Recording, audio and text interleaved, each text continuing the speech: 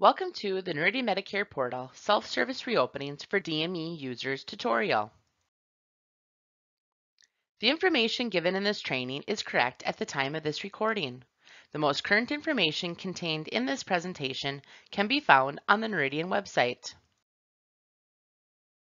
To begin a self-service reopening, a claim status inquiry must be performed first to find the claim you are wishing to, to reopen or correct.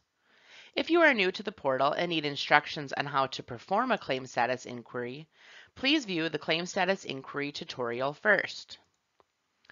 Once you have found the claim you're wanting to reopen, choose View Claim. To initiate the reopening, choose Self-Service Reopening under the Related Inquiries section. Once a self-service reopening has been initiated, the portal will go through a series of checks to determine if the claim meets the requirements to be reopened. If the claim is not eligible to be reopened, the portal will provide an error message with further instructions. On step one, the first question that is asked will determine if a self-service reopening or a recoupment request will be completed. Is this an overpayment refund? If yes, then a recoupment request can be completed. If this is your situation, please find the DME recoupment request tutorial for further instructions. If no, then you will choose to modify or reprocess the claim. If reprocess is chosen, a pop-up box will be displayed asking if you are sure you want to reprocess. Choose Submit and the claim will display.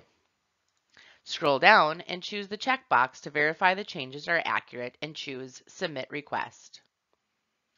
If Modify is chosen, choose the claim line or lines that the adjustment will apply to and choose Next. On step two, all the fields that are able to be adjusted are opened to make corrections. Make the changes that are needed and then choose Next. Step 3 provides the users with updated claim lines based on the changes made on Step 2. Review the changes, select the checkbox to verify the changes are accurate, and choose Confirm Changes. Step 4 provides the confirmation ID number. This indicates the reopening was submitted and will be processed. Once the reopening has been submitted, providers are able to view the adjusted claim in the portal. To view the claim, perform a claim status inquiry, entering the provider combination and the required beneficiary elements.